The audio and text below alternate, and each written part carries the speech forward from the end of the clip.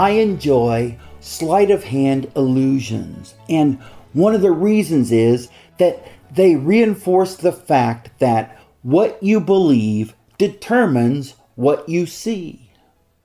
I didn't always understand this concept. I grew up thinking that what I believed was determined by what I saw. But it's not what you see that determines what you believe.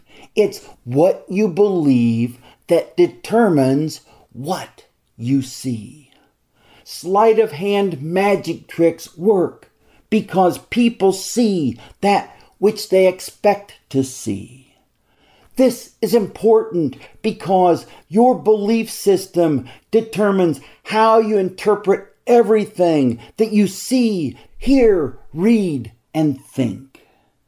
Imagine a sign with two groups of letters.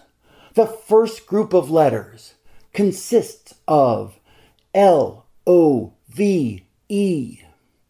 The second group of letters consists of I S N O W H E R E.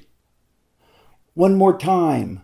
The second group of letters consists of I S N O W H E R E. An optimist would look at that sign and see love is now here.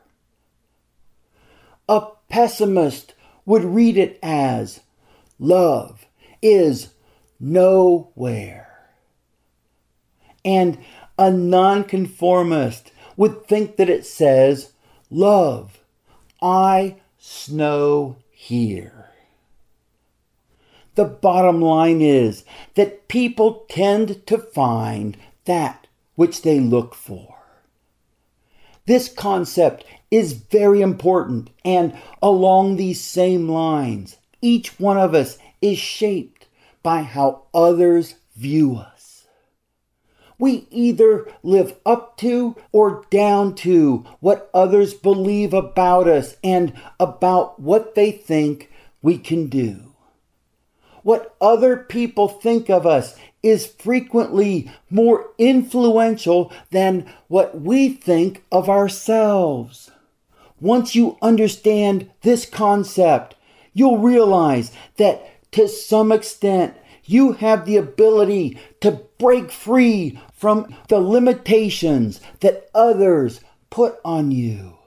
But it all begins in your mind because your belief system determines how you interpret everything that you see, hear, read, and think.